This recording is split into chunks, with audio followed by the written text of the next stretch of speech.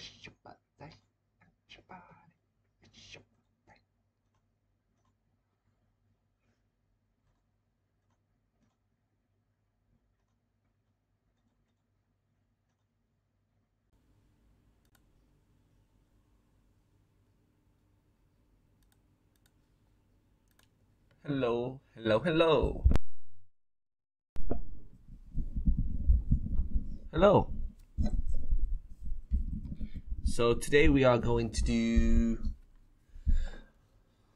hmm some of the uh, advanced basic to advanced JavaScript, which is a um, a really popular language right now. I, I really like this language It's wordy, it has a lot of syntax, but overall, it is really, um, how can I say it, popular. Since there's like a lot of libraries, and um, you can use JavaScript for pretty much anything, from like server side to client side to building programs. I don't, I don't know. I don't know about building programs, but you you basically can use JavaScript for pretty much everything, every everything. It's just not that fast. It like a slow, like Python is is pretty uh, on the slow side since it is too advanced and it's really close to the human uh, language that's why it's not really as fast. It's not close to the computer uh, language of 0 and 1. So, that's why. Basics to advanced topics like state management. For the hard parts of the language, for Hi, and welcome to the course. I want to say first of all, thank you, and that it's a privilege to be teaching you JavaScript. JavaScript is undoubtedly the most popular and in demand programming language in the world, and I'm very excited to move you along the path to mastering the language and helping you personally level up your skills and your career as a developer. Right now, I just want to give you a sneak peek of what I have in store for you in the course and what this course is all about. I've tried to put together the best of both worlds to give you the best possible learning experience. I've sought to combine very in depth and engaging instructional lessons with very hands on, fun, real world projects. The majority of the course will be a deep dive into the language. We'll leave no stone unturned. We're going to go from the simple parts, all the way from things like variable basics, to advanced topics like state management. For the hard parts of the language, for example, topics like closures, the this keyword, prototypical inheritance, I've strived for examples and coding exercises to make traditionally abstract concepts clear, memorable, and easy to grasp. And then for concepts that many likely consider quite simple, such as variables and basic conditionals, I've tried to go further and give you a deeper and more thorough look at that concept than you've likely had before. For each of these instructional lectures, I provided a great deal of coding challenges and exercises in every video. They're there to get you thinking, as well as asking and pursuing answers about the language on your own, and most of all, to get you actively coding. For your benefit, I would highly recommend you attempt to do each of these exercises. Sometimes they may be simple questions. Maybe sometimes I'll ask you to pause the video and see if you can apply a given concept we've learned together. Note that getting the right answer to these questions isn't the goal. It's about the effort you put into it and reviewing the things that we've learned. Additionally, outside of each instructional video, there will be further challenges that you can take to really solidify every single topic we cover and get plenty of practice actively coding and committing your skills to memory. If you really want to get the most out of the course, make sure to do every single challenge that's placed between lectures. There's no replacement to getting your hands dirty and working with the language Right, yourself. Need to do. Then, as for the second part of the course, notes on this. we're going to be putting together all of the skills we've been developing and all of the concepts we've been working with into practice by building two real world app clones that look and function just like their real life versions. The first one will be the app that you see here, Google Keep, which is a really neat note taking app and is basically like post its for the web. And Wow. also Hacker News, which is the go to place for anything related to programming and developer news and information. So thanks again. I'm really looking forward to working with you in this course and having you take part in everything I've prepared here. I hope that this course delivers in what I set out to accomplish in making it, to serve as your go to guide in becoming an indispensable JavaScript developer in 2020 and beyond. 2020 and beyond. Okay, so we should do this. Start using JavaScript. JavaScript can run in many different environments, but in this course we're going to focus on how JavaScript is primarily used in the browser. JavaScript is an amazing language because we don't need to install anything to work with it. We just need an HTML document, meaning a file that ends with .html, and we can start using it. To run JavaScript, we just need a set of script tags. So let's create a basic HTML document, a set of HTML tags, an opening and closing tag, as well as a head and a body. Assuming you're familiar with HTML, any HTML elements are provided within these body tags.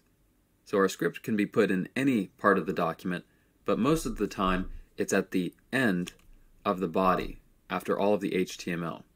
Scripts are executed right as the browser sees them, and therefore our JavaScript is executed right as the browser sees it from top to bottom. Also, having our JavaScript code afterwards, after any HTML elements that we might have, is essential because most of the time we want to change our HTML dynamically with JavaScript. So how do we create a script for our JavaScript to run in? Well, script tags, like any other HTML tags, have an opening and closing tag. And between them, between these tags, we put whatever JavaScript code we want to run. Let's write our first program, which will simply tell our user, hello world. We can log some text to our console down here by saying console log hello world. Note a couple of things here. This console log feature is going to be useful throughout the course in displaying certain values or to look at certain parts of our program. And second, we're writing what we're logging to the console, the text hello world, between a set of quotes. All text in JavaScript has to be wrapped in quotes for it to be valid. Text in JavaScript like this is called a string. So if we run our code, either by hitting the Run Code button up here, or by using our shortcut Command S or Control S, we see our log Hello World. So congratulations, you now already know the core structure of any JavaScript application, whether simple or complex. Most programs are not written entirely between script tags though, only the most basic ones. Most of the time our JavaScript lives in a separate file. To create a JavaScript file, we can name it whatever we like, but it has to end with the .js extension. If we have a project with just one JavaScript file, it'll likely be called index.js or app.js. So let's call ours index.js. That's what we're going to be naming our JavaScript file the majority of the time throughout the course. Call this index.js. And then we want to put our previous program that we wrote in it. So we'll copy it, paste it in index.js, and then to still have our code run, we reference this JavaScript file, index.js, using the source attribute on the script tags. So source will be set to index.js. We can remove the code that we have between the script tags since it's now living in code between script tags and using external scripts. Throughout this course, we'll use external scripts to write our programs. The console yeah. log Let's move on. In this first section, we're going to kick things off by talking about variables and strings. We'll talk about the basics. What's the core way to create a variable with the var keyword? And then we're going to talk about how to improve our variables with the help of strict mode, which is a particular mode of running our JavaScript code, as well as a few new ways of creating variables, namely the mm. keywords let and const, and why they're better as compared to var. We're going to talk about features, the features that they offer, such as block scoping, and why that matters. We're also going to talk about strings. Why is all my external links not working? Is it running with Bitly?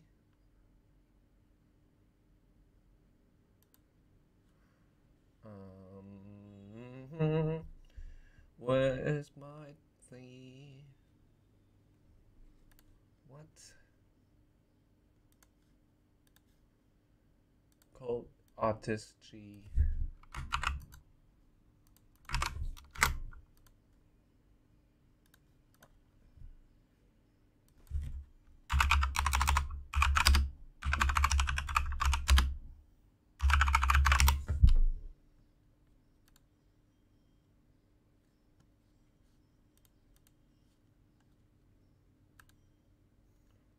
creating art code.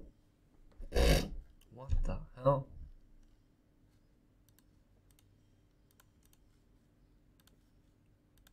And how to make them better. Specifically, we'll talk about a newer mm-hmm. type of string called a template literal. And finally, we're going to cap things off by talking about how variables should be named and how you should best name them for yourself as well as for other developers. Oh, and by the way, for these section intros, you'll see two links right here. The first one here is from my personal newsletter. If you'd like even more free resources on JavaScript, like articles, books, and courses, feel free to sign up for that. It takes five seconds. And also, if Twitter is more your thing, you can keep up with me there for all sorts of great. Twitters. I don't. I never use Twitters. Author at Scrimba found the cult artistry.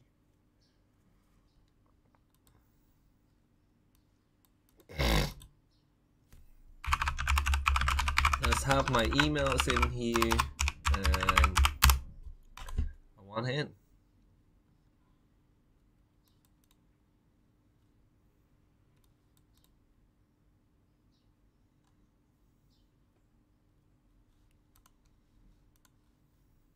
coding insights to further your career. We've got a lot to cover, but it's going to be a lot of fun stuff. So if you're ready, let's go ahead and dive into variables and strings.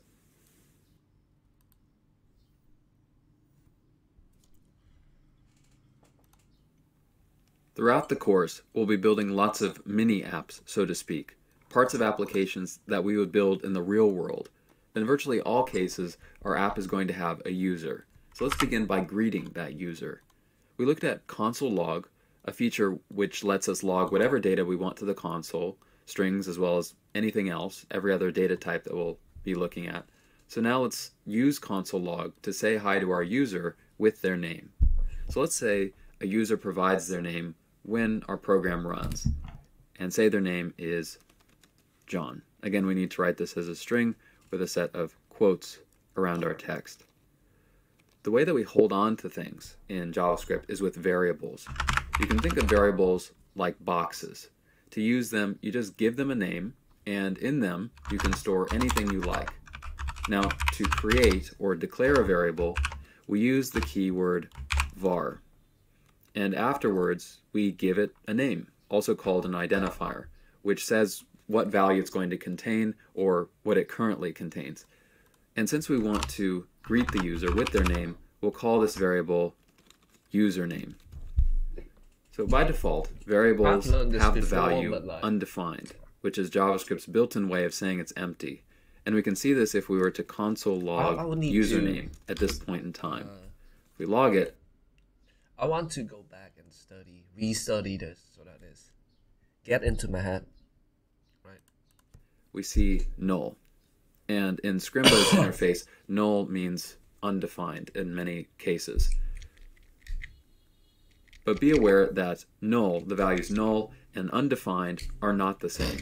We'll talk about this in more depth when we cover types in JavaScript. Now, what we want to do here is we want to give our username variable a value. Right now it's just using the default value. In this case, we want to give it the value John that the users provided. And to do that, to give a variable a value or assign it a value, we use the equal operator. We want easier variable of the time when making variables, giving it an initial value. Then we can use this variable however we want throughout our application. So for example, we could simply echo the user's name back to them by passing username to console log. So when we log username, we get its value that it stores John. Let's say our program changes a bit let's say instead of having this variable be one that holds the user's username, we want to just hold their first name. If we want our variable to hold a different value, we want to change the variable name to reflect the data that we want it to hold, or that it now holds. However, variables in JavaScript follow a specific naming convention, meaning a rule that's not required by the language, but one that other JavaScript developers follow to be on the same page. Variables in JavaScript are what's known as camel cased. Camel meaning right. Variables, rules. The first word in the variable is lowercase, like we have here, and the rest of the words Rule number are one. uppercase, like this. The appearance of such names kind of looks like the humps of a camel, thus its name.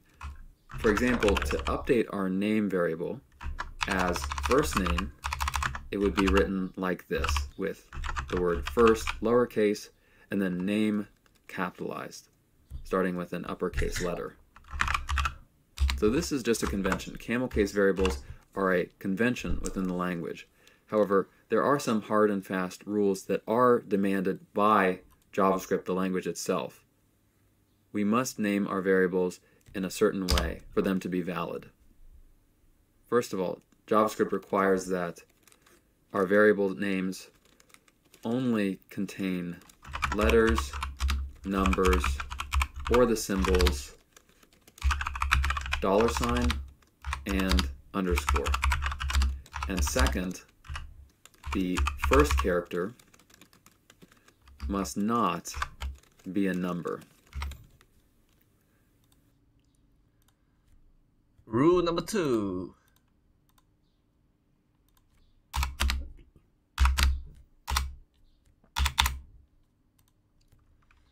Rule number three.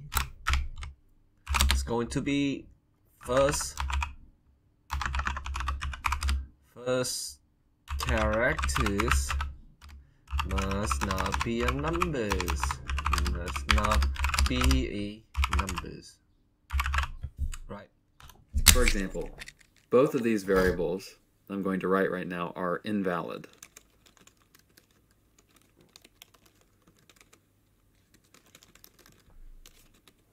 And you can see an indication of as much because of the red squiggly line that we see underneath both of the variables' names.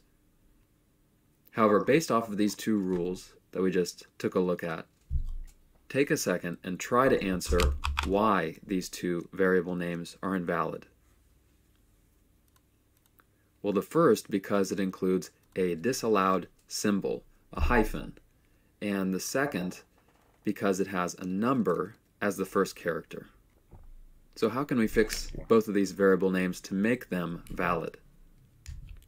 Well, first of all, if we needed a symbol at the end, we could replace the hyphen with an allowed symbol, such as a dollar sign. And We see that our red squiggly line goes away.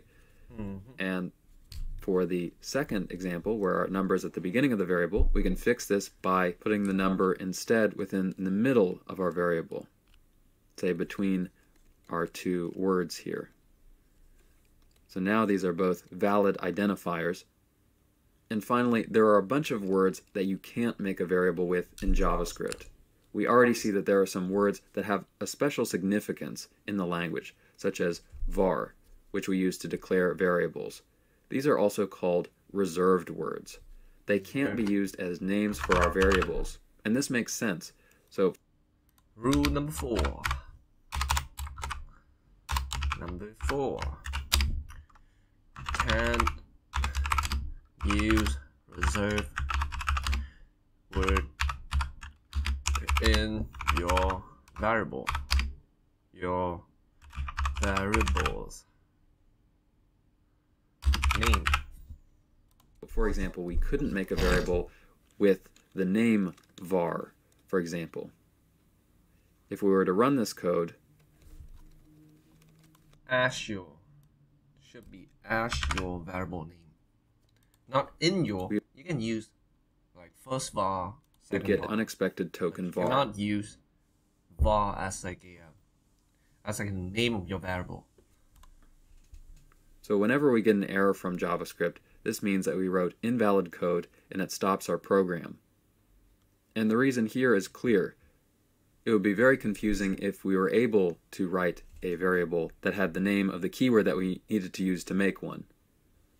So be aware that there are a bunch of these reserved words, which you'll learn throughout the course, but the easiest way to avoid using reserved words for your variable names is through creating variables with precise names about what information they hold.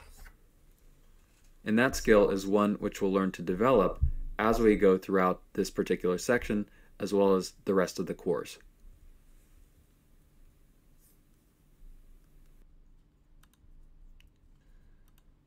All right, it's time for the first coding challenge of this course. And we're of course going to talk about variables, which is what you just learned about. The challenge is the following.